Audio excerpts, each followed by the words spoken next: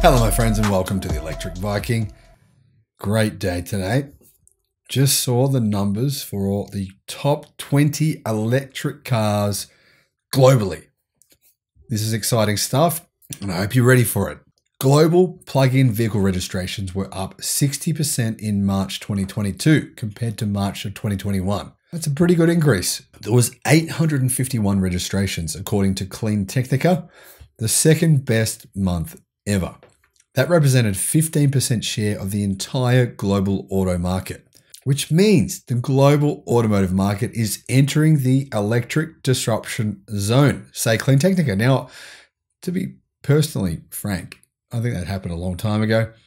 But hey, this is a huge number 11% complete electric market share worldwide, 15% for plug in vehicles and fully electric cars combined. That's crazy. What's even crazier is numbers like this, which I'm sure you've heard if you've been watching the channel. Electric vehicle sales in March were 50% of all cars sold in Shanghai. And there's lots of cities in China where people just don't want combustion engine vehicles. Same goes for Europe. Same goes for, well, many countries around the world. However, if you add the 832,000 plugless hybrids registered in March, we have close to 30% of the overall global market having some form of electrification last month. Very interestingly, though, CleanTechnica points out that plugless hybrids only grew by 1% versus the same month last year. In other words, they're not growing at all. In March, electric vehicles increase of 81% year over year grew faster than plug-in hybrids, which increased by 19% year over year. However, plug-in hybrids in Europe yeah, people don't really want them. Same deal in China. Their sales dropped. Year to date, plug in share rose to 11%. Of those, while about 90% are electric, as in fully electric cars. So, Tesla takes first and second place. Looking at the monthly bestseller table, the Model Y won the title again. Its third month in a row. However, this is the first time that the Model Y has beaten the Model 3 for an entire quarter. And obviously, we're not going to look back. Model 3 will never again win, never again take this record. Model Y will permanently hold this record for its foreseeable existence. Model Y deliveries in March of 2022 were 92,000. Model 3, 81,700. The Wuling Hongguang Mini EV, 47,563. The BYD Song Pro, 22,000 the BYD Qin Plus, 14,000. Chery QQ Ice Cream, which by the way is a direct competitor to the Wuling Hongguang Mini, very similar car, very similar specifications, 11,700. The Li 1 plug-in hybrid, 11,000. The Volkswagen ID4, a pretty abysmal and disappointing 10,000. The Hyundai Ioniq 5, 10,800. The Chang'an Benni EV, 10,728. The BYD Dolphin, 10,514. Now, by the way, in April, BYD Dolphin deliveries increased to 14,000. And well, as you can see in this list, the majority of the rest of the vehicles here are Chinese. In fact, hang on a minute. Ah, more than 90% of these vehicles are either, hold on, Chinese or built in China. In fact, the only one that isn't built in China is the Ioniq 5. Every other vehicle in this list has at least some of its production, if not all of it, in China. Now, hopefully that changes over the next few years. We certainly don't want all of our automotive industry to go to China because that's uh, trillions of dollars. We need to keep some of that in the rest of the world.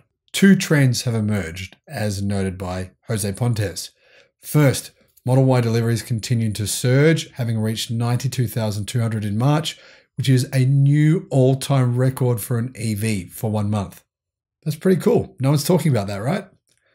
Second, Model 3 sales have been flattening, proven by the fact that the midsize's deliveries in the first quarter of 2022 were only up by 1% compared to the same period last year. However, contrary to what eh, the author of this article has claimed elsewhere, Model 3 sales are not flatlining due to popularity. It's very, very obvious the proof of this because the delays for that vehicle are many months long. When I'm talking here in Australia, one year now. One year. Yeah, the same scenario is evident in many other countries, right? You've got to wait longer than ever to get a Model 3. Clearly, Tesla is just not prioritizing increasing production of the Model 3 versus what it is with the Model Y. The Wuling Mini EV took third spot on the podium, followed by two BYDs. In addition, mini and micro EVs in China are massively increasing in popularity. For example, the Chang'an Benni EV did extremely well. It's a Toyota Yaris like model and it got 10,728 reservations. Another interesting thing to note here in the second best month ever for the electric vehicle market, record scores were all over the place. For example, nine out of the top 20 bestsellers achieved a record month. We're going to see the same thing happen month after month after month for the rest of this year. You can imagine what kind of deliveries we're going to see by the end of the year, by November, December. It's going to be absolutely off the hook. It's going to be insane. It's exciting to see. Honestly, this has me pretty stoked. The other thing is that this is really ringing the alarm bells for the, some of these legacy automotive manufacturers who are still dragging their feet, to be fair, still kind of giving a bit of lip service to EVs, not really going all in. I mean, if BYD can increase their electric vehicle deliveries by a factor of 300% in a year, why can't others? I mean, really, there's a bit of lip service going on, you have to admit. So let's have a look at the winners so far for the entire year, January to March. Tesla Model Y, first place with 170,000. Tesla Model 3, second place, 127,000. Well, almost 128. Let's just go with 128,000. Wuling Hongguang Mini EV, 100,360. BYD Song, 57,860. BYD Qin Plus, 47,000. And the Li one, 32,000. Next, BYD Dolphin, 29,672. Volkswagen ID4, 29,444. And interesting that that's the only legacy auto manufacturer here in the top 11, right? Top 11 best selling electric vehicles on the face of planet Earth. Only one of them is made by Legacy Auto. And they're sitting in 11th place worldwide. This disruption is insane. It's happening right here. People are still ignoring it. Investors are still ignoring it. People are pretending it isn't happening, but it is. However, in the year to date table, Tesla Model 3 came second. However, their 6.4% share of the entire market is now quite a bit lower than the 11% that the Model 3 had a year ago before the Tesla Model Y had ramped up. Clearly, Tesla's growth is primarily happening now through Model Y. That, though, may change a little bit as we're going to see ramp up to some degree in China of Model 3s. So that leads us to the final award the best selling manufacturers by brand in March of 2022. First place was Tesla with 180,253 deliveries. Second was BYD with 105,000 deliveries. Third was SGMW with 52,000. Fourth, BMW with 30,000, though that does include plug in hybrids. And then fifth with 28,000, Volkswagen. Remember though, that includes plug in hybrids and fully electric vehicles. Without those in the tally, the chart would be much different. So, who are the top three from January to March of this year? Number one, Tesla, 310,000 deliveries. Number two, BYD, 286,000 deliveries. By the way, that does include plug in hybrids. And number three, SGMW, with 115,000 deliveries.